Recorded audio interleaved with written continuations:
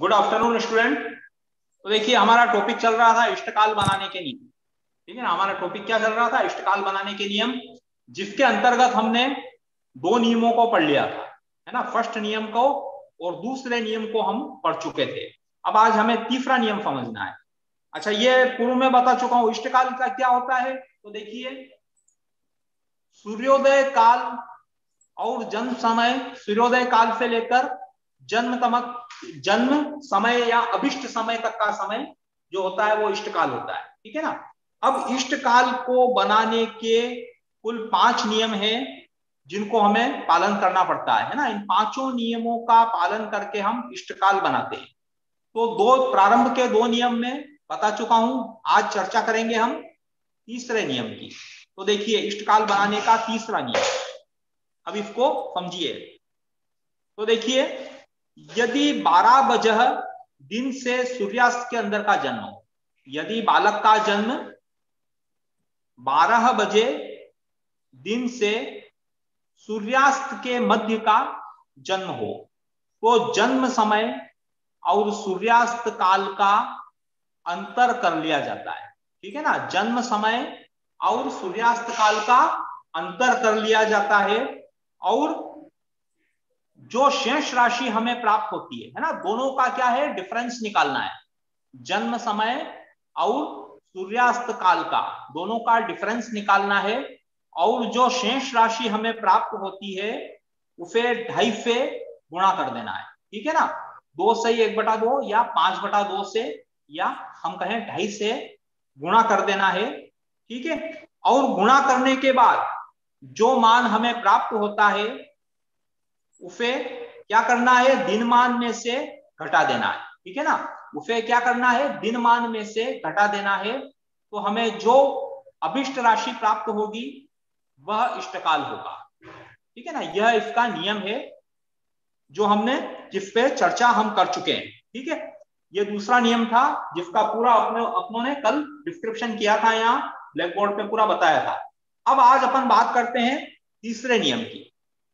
तो तीसरे नियम में देखिए कि यदि सूर्यास्त से 12 बजे रात्रि के भीतर जन्म, है ना? यदि सूर्यास्त सूर्यास्त से रात्रि के 12 बजे के भीतर जन्म होता है, ठीक है? तो जन्म समय और सूर्यास्त काल का अंतर कर लेना है।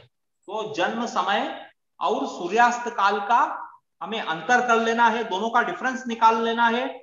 और जो शेष राशि हमें प्राप्त होती है, उस शेष राशि को ढाई गुना करना है या ढाई से उसे गुणा कर लेना है, ठीक है ना? और गुणा कर लेने के बाद उसे क्या करना है? दिन मान में जोड़ देना है। दिन मान के अंदर उसको जोड़ देना है तो जो हमें अभिष्ट संख्या प्राप्त होगी, वही इष्टकाल होगा, ठीक है ना? यह दूसरा नियम है। तो समझ गए ना? पहले नियम में क्या हो रहा है?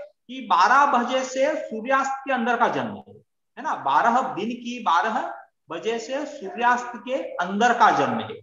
और तीसरे नियम में क्या हो रहा है कि 12 बजे से, है ना, सूर्यास्त से रात की 12 बजे के बीच का जन्म है। समझ गए ना? कि सूर्यास्त से रात की 12 बजे के बीच का जन्म है। तो इस कंडीशन में तीसरा नियम लागू होगा। अब इसको हम एक एग्ज़ाम्पल लेके समझने की कोशिश करते हैं, ठीक है ना? हम इसको एक एग्ज़ाम्पल से समझेंगे। तो देखिए, हम एक एग्ज़ाम्पल कंसिडर कर रहे हैं कि हम नगर आरा को ही ले रहे हैं क्योंकि इसका सारा कैलकुलेशन हम पूर्व में कर चुके हैं, है ना? नया, अगर कोई नया शहर हम कंसिडर करते हैं तो वापस शुरू से चलना पड़ेगा। फिर उसके अपने को उसके अक्षांश निकालने पड़ेंगे, रेखांश निकालने पड़ेंगे, फिर इनका सूर्योदय निकालना पड़ेगा, सूर्यास्त निकालना पड़ेगा, उसका फिर लोकल टाइम निकालना पड़ेगा। ठीक है ना? सारा कैलकुलेशन शुरू से करना पड़ेगा। तो अब देखिए देखिए कि विक्रम संवत 2001 विक्रम संवत 2001 वैशाख शुक्ल द्वितीया 24 अप्रैल, सोमवार के दिन बालक का जन्म होता है। ठीक है ना? कंडीशन विक्रम संवत 2001 वैशाख शुक्ल द्वितीया 24 अप्रैल को बालक का जन्म होता है। और बालक का जो जन्म समय है यह जन्म समय बालक का जो जन्म समय है, वो है रात्रि को दस बजकर पैंतालीस मिनट। है ना? दस पैंतालीस। Ten forty five. बालक का जन्म समय क्या है? दस बजकर पैंतालीस मिनट। जैसा कि नियम के, ये जो नियम बताया था, इसके स्टेटमेंट में मालूम पढ़ा ही होगा आपको कि अपनों ने क्या बताया था इसको? सूर्योदय से लेकर रात्रि को 12 बजे के बीच में जन्म होता है तो तीसरा नियम लागू होता है। तो यहाँ पे बालक का जन्म का समय क्या है? दस बजकर पैंतालीस मिनट। है ना? ये रात्रि का समय है। दस बजकर पैंतालीस मिनट रात्रि का समय है। और यह समय जो लिखा हुआ है, यह स्टैंडर्ड टाइम है। ना? यह क्या है? स्टैंडर्ड टाइम है। और आप अच्छी तरह से जानते हो कि स्टैंडर्ड टाइम पूरे भारत की सभी घड़ियों में एक ही होता है। है ना? स्टैंडर्ड समय पूरे भारत में एक ही होता है। और लोकल समय हर शहर का, हर नगर का अलग अलग होता है। ठीक है? तो यह समय हो गया, जन्म समय हो गया। अब देखिए यह जन्म समय हो गया। तो जन्म समय हमारा पहला कार्य होगा इस जन्म समय को लोकल समय में कन्वर्ट करना। इस जन्म समय को लोकल समय में कन्वर्ट करना। ठीक है ना? तो ये जन्म समय हो गया दस बजकर पैंतालीस मिनट स्टैंडर्ड टाइम है है ना? इसको अपन लोकल समय में कन्वर्ट करने के लिए हमें यहाँ पे दो संस्कार करने होंगे। एक तो देशांतर संस्कार और दूसरा वेलांतर संस्कार। दोनों संस्कारों को करने के बाद यह मानक समय, स्थानीय समय में परिवर्तित हो जाएगा। ठीक है? तो पहले देशांतर संस्कार करते हैं अपन इसका। तो ये हो गया देशांतर। देशांतर संस्कार। देखिए तो ये तो मैं दो तीन दिन से रोज ही बता रहा हूँ, देशांतर संस्कार और वेलांतर संस्कार, इसको बार बार पूरा करने की ज़रूरत नहीं है। ठीक है ना? तो इसको मैं बता देता हूँ क्या होता है कि यहाँ पे अपने को क्या करना है, देखिए।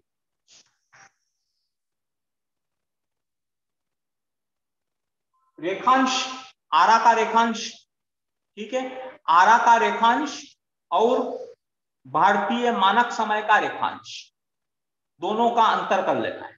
दोनों का क्या करना है? अपने को अंतर कर लेना है है ना? आरा के रेखांश और भारतीय मानक समय के रेखांश का अंतर कर लेना है। तो देखिए, आरा का जो रेखांश है, वो है चौरासी अंश है ना? चौरासी अंश और 40 मिनट। और भारतीय मानक समय, इसका रेखांश होता है बयासी तीस। ठीक है? तो हमने इनका अंतर किया। हमने इन दोनों का अंतर किया चौरासी चालीस और बयासी तीस। इन दोनों का हमने जब अंतर किया तो हमें क्या प्राप्त हुआ? दो दस दो दस ठीक है, ये हमें इनका डिफरेंस प्राप्त हुआ। दो दस यहाँ पे दो क्या है? तो दो अंश है और दस कला है। ये भी चौरासी अंश और चालीस कला, बयासी अंश और तीस कला। ठीक है, इन दोनों का डिफरेंस किया तो दो दस हमें प्राप्त हुआ। ठीक है, अब अपन अच्छी तरह से जानते हैं कि एक अंश बराबर क्या होता है? चार मिनट होता है। एक अंश बराबर चार मिनट होता है। तो इनको अपन चार से मल्टीप्लाई करते हैं। तो two ten two ten into four इसको मल्टीप्लाई कर दिया, ठीक है? तो ये क्या हो गया? एट फोर्टी है ना? तो ये फोर से जब हमने मल्टीप्लाई किया तो यहाँ पे देखिए, यहाँ पे अंश कन्वर्ट हो गया किसके अंदर? मिनट के अंदर। अंश कन्वर्ट हो गया मिनट के अंदर, है ना? और ये किसके अंदर कन्वर्ट हो गया? सेकंड के अंदर। तो कितना हो गया हमारा? आठ मिनट और चालीस सेकेंड। हमें क्या प्राप्त हुआ? आठ मिनट और चालीस सेकेंड प्राप्त हुआ। तो हम इसको क्या करेंगे? हम इसको जो स्टैंडर्ड टाइम है हमारा टेन फोर्टी फाइव इसके अंदर एड कर देंगे। इसके अंदर क्या कर देंगे? एड कर देंगे। तो और दूसरा जो होगा, वो होगा वेलांतर संस्कार। वेलांतर संस्कार। वेलांतर संस्कार निकालने के लिए आरा का जो अक्षांश होता है, उसको हम देखते हैं। तो आरा का अक्षांश कितना है? पच्चीस अंश। ठीक है? पच्चीस अंश अक्षांश है आरा का। तो आरा के अक्षांश को हम बेलांतर सारणी के अंदर, जो हमारा माह है, माह कौन सा है? अप्रैल माह है। अप्रैल माह में बालक का जन्म होता है। ठीक है? तो 25 अंश अक्षांश को हम देखेंगे, किसके अंदर? अप्रैल माह के कॉलम के अंदर देखेंगे। ठीक है? तो अप्रैल माह के कॉलम के अंदर पच्चीस अंश अक्षांश का मान हमें मिलता है प्लस टू कितना मिलता है? प्लस टू मिलता है। ठीक है ना? वेलांतर सारणी और यह अक्षांश देशांतर बोधक सारणी या आपके पंचांग में दी हुई होती है। ना? तो इनको देखकर हमें मान लिखना है। तो क्या हुआ? प्लस टू हुआ। ठीक है? ये वेलांतर हो गया प्लस टू अब इन दोनों को देशांतर और वेलांतर को हम क्या करेंगे? बच्चे का जो जन्म समय है दस बजकर पैंतालीस मिनट, ये क्या है? स्टैंडर्ड टाइम इसके अंदर दोनों को हम जोड़ देंगे। तो हमने जोड़ दिया। ठीक है? तो हमें क्या मिला? स्थानीय समय मिला। जो जोड़ने पर हमें जो समय मिला है, उसे स्थानीय समय कहते हैं। तो देखिए, स्थानीय समय। स्थानीय समय हमें मिलता है टेन फोर्टी फाइव ठीक है? प्लस या इसको अपन ज़ीरो ज़ीरो भी करते हैं। Zero second plus zero eight zero eight forty plus zero two zero इस तरह से हम इनको जोड़ देते हैं। तो देखिए, जोड़ने के बाद हमें क्या मिला? इक्वल टू टेन ठीक है? ये हो गया आपका, कितना हो गया? टेन। अब 45 में एट को एड करेंगे तो ये हमें क्या प्राप्त होगा? देखिए यहाँ पे।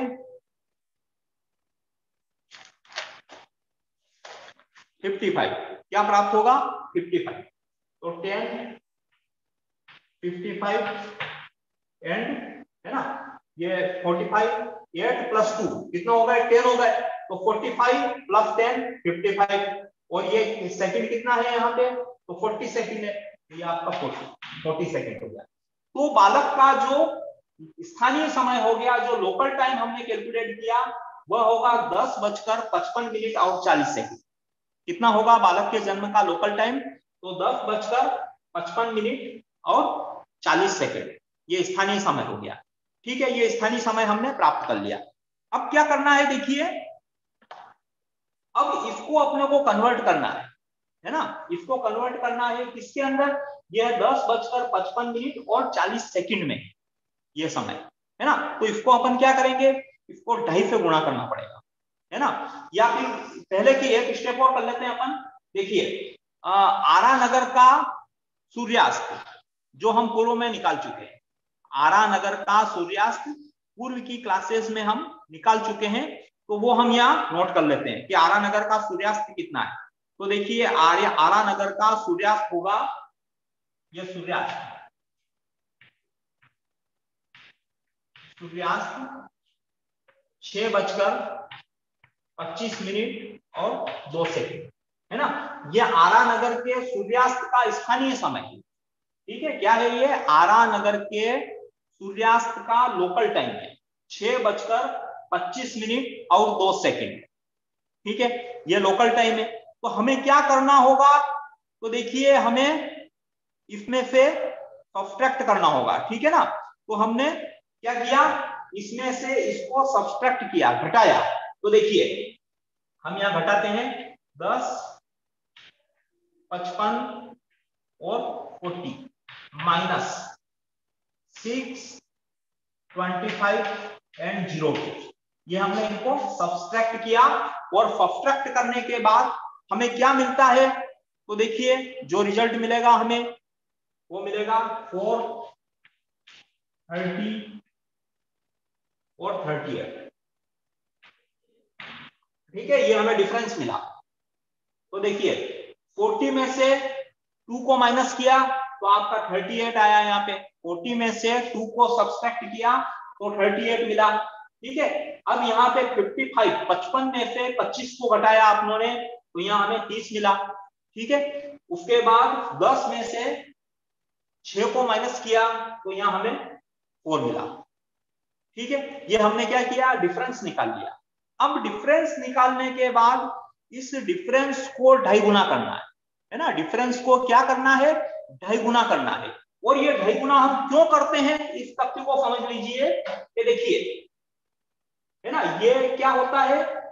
ये घंटा, मिनट और सेकंड के अंदर है। ये हमारा समय किसमें है? घंटा, मिनट और सेकंड के अंदर यह समय।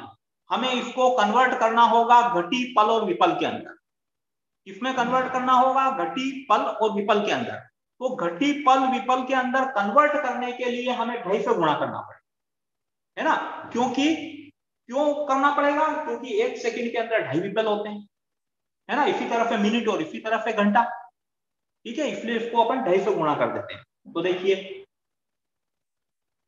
स्क्रीनशॉट लेना हो तो ले लीजिए, मैं इरेज करता हूँ फिर इसको।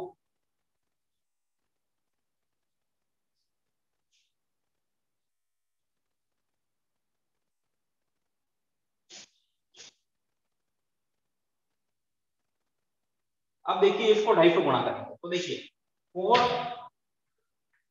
thirty and thirty eight into five by two हमने ढाई से गुणा कर दिया। ठीक है? ढाई का मतलब ढाई को ऐसे लिखते हैं two whole one by two two whole one by two तो टू टू जा four four plus one five five by two तो ये फाइव बाई टू हो गया। तो इनको मल्टीप्लाई करते हैं। तो क्या हो रहा है? अब इसको मल्टीप्लाई करेंगे। तो देखिए, इसका जो टेक्निक है है ना?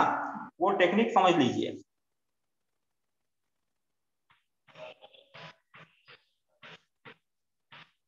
अब देखिए आपने पाँच थर्टी एट को फाइव से मल्टीप्लाई किया। थर्टी एट को फाइव से मल्टीप्लाई किया। तो आपको क्या मिला यहाँ पे? देखिए। ये फाइव एट जा फोर्टी फोर्टी का ज़ीरो फोर कैरी और कितना हो गया? फाइव थ्री जा फिफ्टीन है ना? फिफ्टीन और फोर नाइनटीन तो ये आपको मिला वन नाइनटी कितना मिला? वन नाइनटी ठीक है ना? वन नाइनटी हो गया। और one ninety divided by two one ninety में आपने दो से डिवाइड किया वन नाइनटी को तो ये कितना हो गया आपका नाइनटी फाइव है ना? कितना हो गया? नाइनटी फाइव हो गया, है ना? वन नाइनटी को आपने दो से डिवाइड किया तो ये हो गया नाइनटी फाइव ठीक है? अब यहाँ पे क्या करना है आपको कि 95 में से अपनों ने 35 को यहाँ रख दिया। क्या रख दिए 35 हमने यहाँ रख दिए और 60 विपल फाट विपल जो थे, उन फाट विपल को अपनों ने इधर शिफ्ट कर दिया। क्योंकि फाट विपल का क्या होता है? एक पल होता है।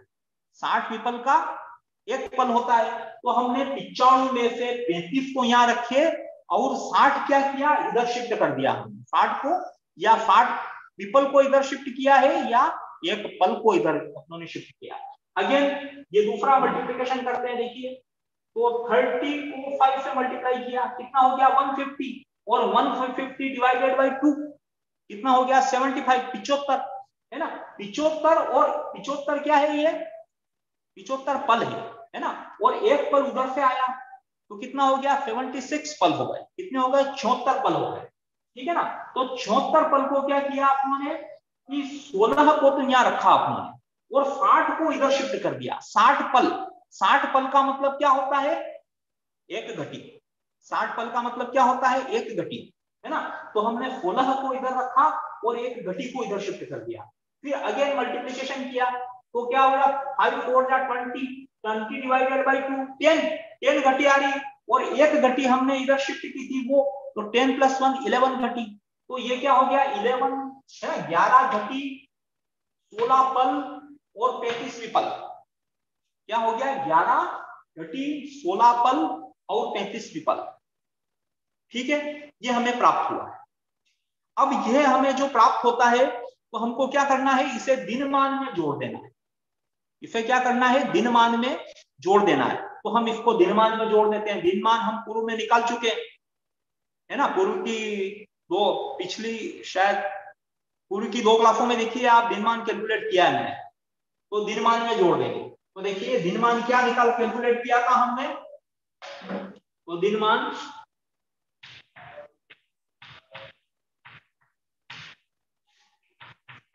दिनमान बत्तीस घटी पाँच पल और दस विपल बत्तीस घटी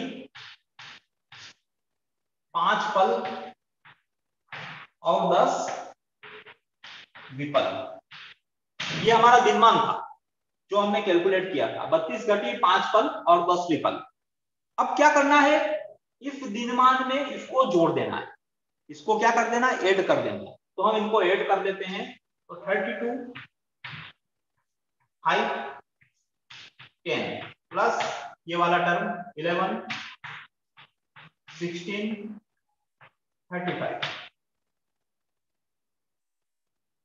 इनको हमने ऐड किया। ठीक है? तो ऐड करेंगे तो क्या हो जाएगा? देखिए इक्वल टू अब यहाँ पे thirty five plus ten forty five forty five होगा है ना? Sixteen plus five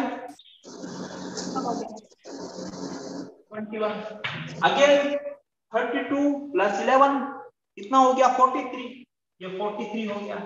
ठीक है, इसको पढ़ेंगे कैसे? तो फोर्टी थ्री घटी है ना? तिरयालीस घटी इक्कीस पल और पैंतालीस विपल है ना? यह क्या होगा? हमारा अभिष्ट घटियादि इष्टकाल होगा, जो हमने तीसरे नियम को फॉलो करके निकाला है। है ना? यह इष्टकाल निकाल लिया हमने, इसको बोलेंगे घटियादि इष्टकाल, क्योंकि ये घटी पल विपल के अंदर है। घटी पल विपल के अंदर है, इसलिए इसको क्या करना है? घटियादि इष्टकाल। ठीक है? तो तीसरे नियम के हिसाब से हमने ये इष्टकाल को फाइंड आउट किया है। अब अपन बात करते हैं चौथे नियम के। चौथे नियम में कैसे कैलकुलेट किया जाता है और चौथा नियम क्या है? है ना? तो सर्वप्रथम आप चौथे नियम को समझने की कोशिश कीजिए कि चौथा नियम क्या करता है। तो देखिए, तीसरे नियम के हम बारे में हमने बात की थी तो तीसरे नियम में क्या कहा गया था कि यदि बालक का जन्म सूर्यास्त और रात्रि के 12 बजे के मध्य हो, यदि बालक का जन्म सूर्यास्त और रात्रि की 12 बजे के मध्य हो तो तीसरा नियम लागू होता है। ठीक है? अब चौथे नियम में देखिए, यदि रात के 12 बजे के पश्चात, यदि रात के 12 बजे के पश्चात और सूर्योदय के पहले बालक का जन्म होता है, ठीक है? रात के 12 बजे के पश्चात और सूर्योदय के पूर्व बालक का जन्म होता है तो देखिए, सूर्योदय काल और जन्म समय का अंतर कर लेना चाहिए। तो सूर्योदय काल और जन्म समय का अंतर कर लेना चाहिए और जो शेष राशि हमें प्राप्त होती है, उसको ढाई गुना कर लीजिए। उसको ढाई गुना कर लीजिए और साठ घटी में से उसको घटा दीजिए। साठ घटी में से उसको घटा दीजिए तो हमारा इष्ट काल प्राप्त हो जाएगा। ठीक है? तो इस एग्ज़ाम्पल के ज़रिए हम इसको इस इसको समझने की कोशिश करते हैं। देखिए।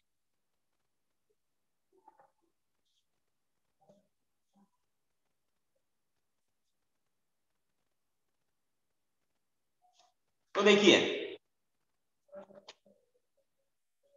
बालक का जन्म होता है विक्रम संवत 2001 वैशाख शुक्ल द्वितीया, सोमवार चौबीस अप्रैल। ठीक है? सोमवार क्या हो गया? वार हो गया।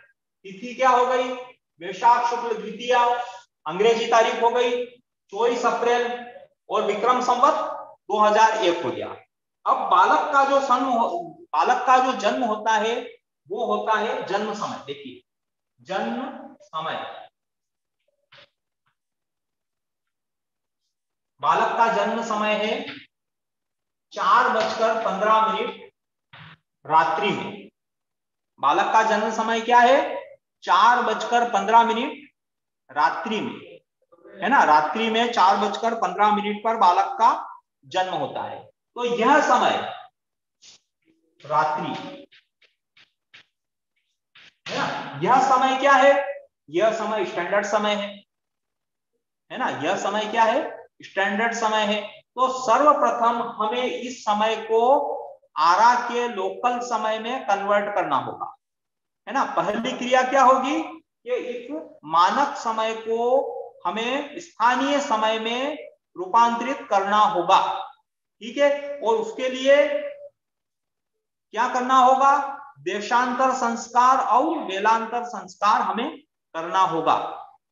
ठीक है? पूर्व की तरह ही कोई परिवर्तन नहीं है। देशांतर संस्कार और वेलांतर संस्कार कर लेंगे और दोनों को मानक समय के अंदर जोड़ देंगे। तो क्या आ जाएगा हमारा?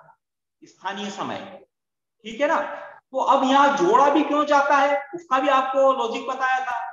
कि देखिए, भारतीय मानक समय का जो रेखांश होता है, ठीक है ना? क्या होता है? बयासी, तीस, है ना? बयासी डिग्री तीस कला। और आरा का जो रेखांश है, वो है चौरासी चौरासी अंश। और चालीस कला तो आरा का रेखांश भारतीय मानक समय के रेखांश से ज़्यादा है, इसलिए जोड़ा जाता है। अगर कम होता तो घटाया जाता। ठीक है? तो हम इसको वही सेम प्रोसीजर कर लेते हैं, देशांतर और वेलांतर संस्कार कर लेते हैं। है ना? दोनों के रेखांशों का अंतर किया हमने। आरा के रेखांश का और भारतीय मानक समय के रेखांश का अंतर किया। तो दोनों के रेखांश का अंतर क्या आया?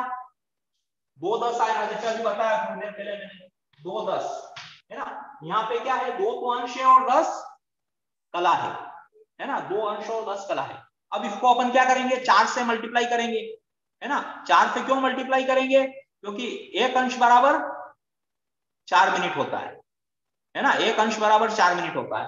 तो चार से मल्टीप्लाई करेंगे इसको तो इंटू फोर कर दिया मैंने ठीक है? तो चार से मल्टीप्लाई करेंगे तो अंश किसके अंदर कन्वर्ट हो जाएँगे? अंश कन्वर्ट हो जाएँगे मिनट्स के अंदर। और कलाएँ कन्वर्ट हो जाएगी सेकंड के अंदर। चार से गुणा करने के बाद अंश कन्वर्ट हो जाएँगे मिनट के अंदर और कलाएँ कन्वर्ट हो जाएगी सेकंड के अंदर। तो क्या आ गया आपका? आठ चालीस। क्या मिल गया आपको? आठ चालीस मिल गया। तो यहाँ आठ क्या है? आठ मिनट और चालीस क्या है? सेकेंड है। ठीक है? तो ये हो गया आपका देशांतर संस्कार। देशांतर संस्कार करने के बाद आपको क्या प्राप्त हुआ? आठ चालीस प्राप्त हुआ। है ना? आठ मिनट और चालीस सेकंड प्राप्त हुआ। अब वो वेलांतर संस्कार कर लेते हैं। तो वेलांतर संस्कार में क्या करना है? आरा का जो अक्षांश है है ना? वो है पच्चीस अंश अक्षांश।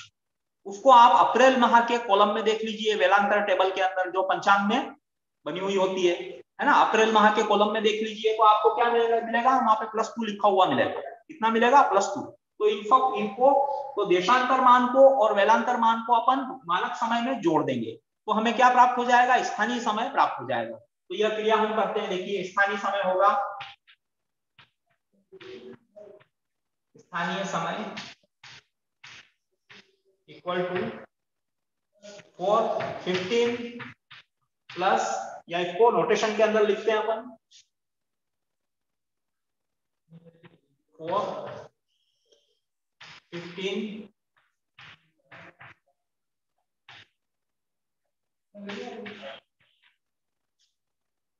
plus zero two zero इनको अपनों ने ऐड किया। तो कितना हो गया? आठ और दो दस, है ना? तो चार, पच्चीस और ज़ीरो है ना? कितना हो गया? ये चालीस सेकंड है ना ये? चार, पच्चीस और चालीस, है ना? तो बालक का जो स्थानीय समय हो गया, वो हो गया चार बजकर पच्चीस मिनट और चालीस सेकंड बालक के जन्म का स्थानीय समय हमने क्या प्राप्त किया? चार बजकर पच्चीस मिनट और चालीस सेकंड। ये स्थानीय समय हो गया बालक के जन्म का। ठीक है? अब क्या करना है कि आरा का सूर्योदय, यहाँ पे लिख लेना है ये आरा का सूर्योदय कहाँ से आया? तो हमने दो तीन दो तीन दिन पूर्व क्लास में सूर्योदय कैलकुलेट किया था। ठीक है ना? सूर्योदय हमने कैलकुलेट कर रखा है। आप दो तीन दिन पुरानी क्लास देख लीजिए, उसमें पूरा प्रोसीजर आपको मिलेगा, सूर्योदय कैसे निकाला था मैंने। ठीक है? तो हम यहाँ आरा का सूर्योदय लिख लेते हैं। तो आरा का सूर्योदय। आरा का सूर्योदय। ठीक है? तो आरा का जो सूर्योदय है, वह है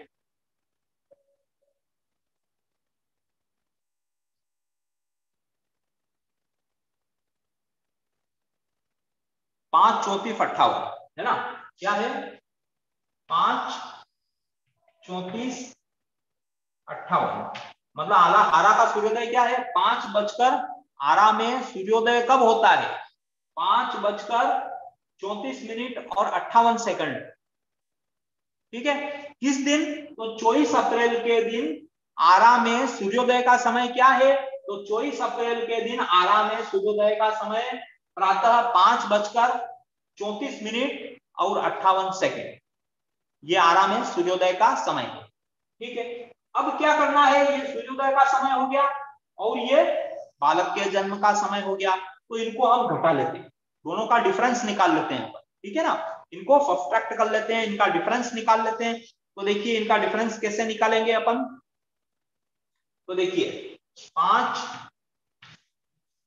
चौतीस अट्ठावन, माइनस चार, पच्चीस और चालीस इक्वल टू ये इनका क्या करना है? डिफरेंस निकाल लेना है आपको।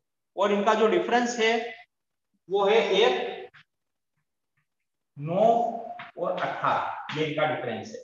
ठीक है? अब ये कैसे है? अट्ठावन में से चालीस को घटाया तो हमें मिले अट्ठारह। ठीक है? अब यहाँ चौतीस में से पच्चीस को घटाया तो कितना हो मिला? नाइन। और फाइव में से फोर को घटाया तो कितना आया? एक। ठीक है, ये क्या हुआ? डिफरेंस निकाल लिया। सूर्योदय और बालक के जन्म समय के मध्य डिफरेंस एक घंटा नौ मिनट और अठारह सेकेंड। बालक के जन्म और सूर्योदय के मध्य अंतर कितना रहा? तो एक घंटा नौ मिनट और अठारह सेकेंड का डिफरेंस रहा है। ठीक है, अब इसको क्या करना है? हमको ढाई गुना करना है, या ढाई से गुणा करना है और ढाई गुना करने का मतलब ये हो गया कि देखो, मिनटों को कन्वर्ट कर देंगे अपन पल के अंदर, और सेकंड को कन्वर्ट कर देंगे विपिल के अंदर, और ये ओवर को कन्वर्ट कर देंगे हम किसके अंदर? घटी के अंदर, है ना? इसलिए फाइव बाई टू से अपन मल्टीप्लाई करते हैं यहाँ। तो इसको पाँच बटा दो से मल्टीप्लाई कर देते हैं। तो कितना हो गया देखिए? एक, नौ और अठारह इंटू पाँच बटा दो, ये गुणा कर दिया ठीक है? अब यहाँ पे गुणा करने के बाद इसका क्या रिज़ल्ट आता है देखिए?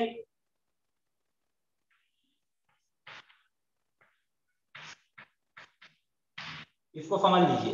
देखो 18 को 5 से गुणा किया तो कितना आया? 90 है ना? 18 को 5 से गुणा किया तो 90 मिला। 90 को दो से डिवाइड किया तो कितना आया आपके पास? 45 कितना आया? 45 तो 45 में से आपने क्या किया यहाँ पे?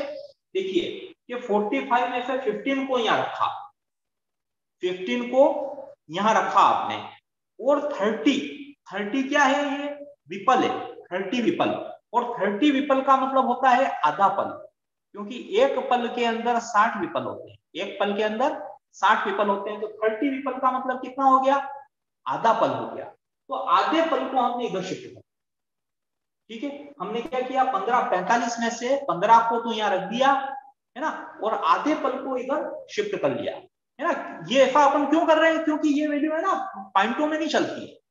है ना? Point five point four point three पॉइंटों में नहीं रखनी पड़ती है। तो इसको एडजस्ट करने के लिए हमारे क्या कोई मल्टीप्लीकेशन में पॉइंट्स वगैरह आते हैं ना उनको एडजस्ट करने के लिए हम क्या ये ऐसा करते हैं, व्यवस्था करते हैं है ना? क्योंकि पॉइंटों में तो नहीं लिख सकते इसको हम यहाँ, जैसे जनरल मैथमेटिक्स में अपन पॉइंट में लिख देते हैं। कुछ भी मल्टीप्लाई किया पॉइंट में आ रहा है तो उसको पॉइंट में लिख देंगे। जैसे forty five point four three है ना? ऐसा कुछ भी लिख देते हैं अपन पॉइंट्स में। तो वो पॉइंट्स में यहाँ लिखना नहीं है। ये ज्योतिष की गणित है फाट की गणित है, इसमें पॉइंटों में नहीं चलता है। तो क्या हो गया? वापस सुन लीजिए कि हमने 18 को पाँच से गुणा किया तो 90 मिला। 90 को दो से डिवाइड किया तो 45 आया। 45 में से हमने क्या किया? 15 को इधर रख दिया और 30 विपल मतलब आधे पल को हमने इधर शिफ्ट कर अब यहाँ अगेन नाइन पे गुणा किया।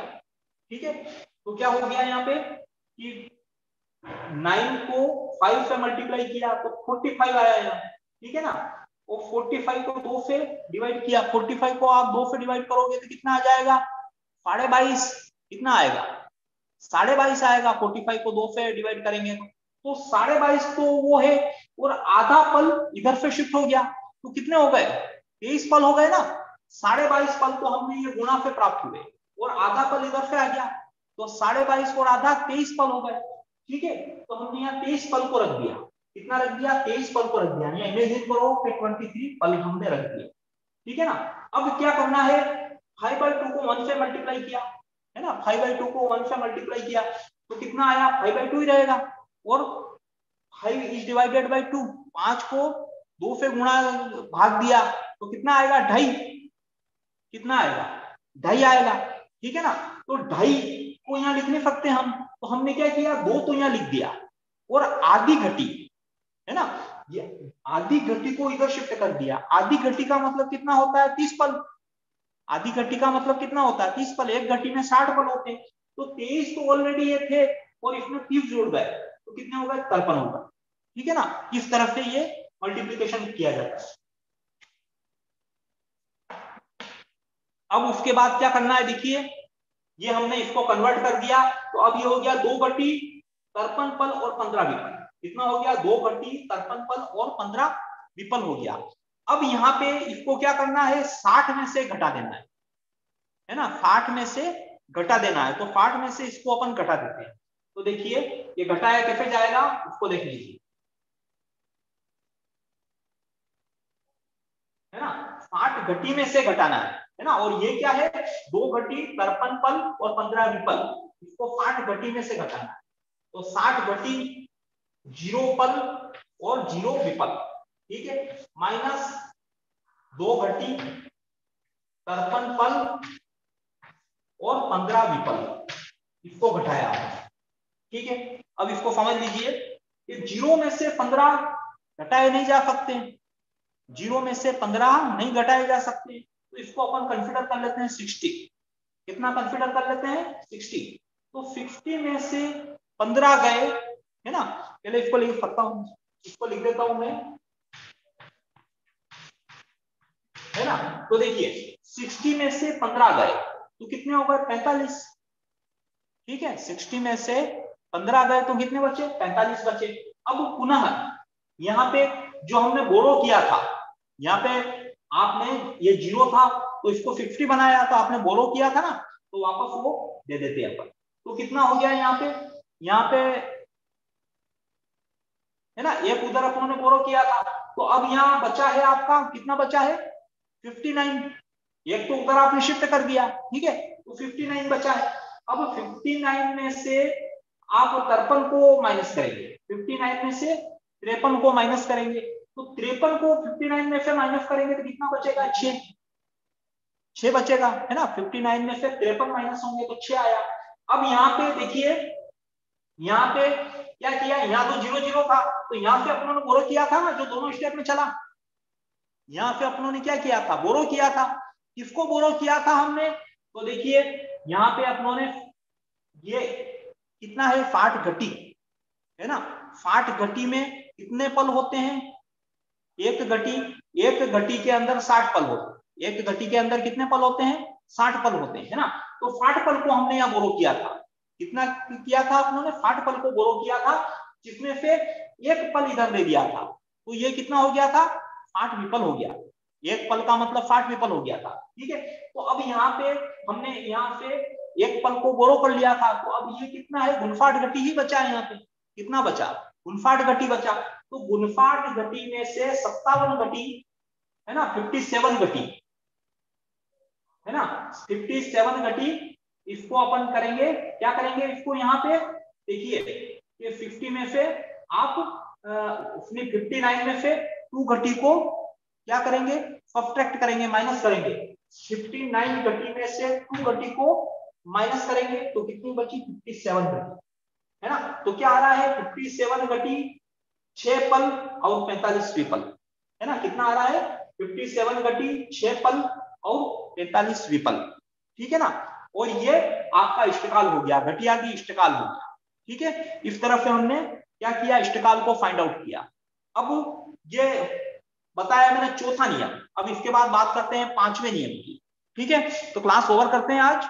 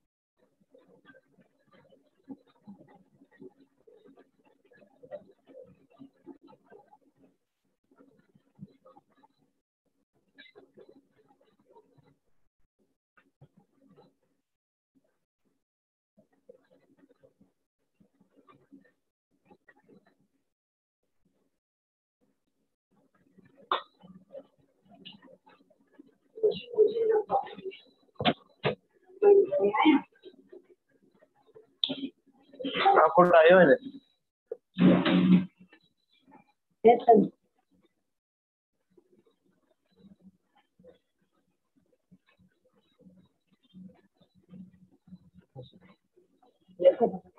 ఓ బాజీగడ్లో పది డిగ్రీకే ನಂಗೆ ಇದು ಅಷ್ಟು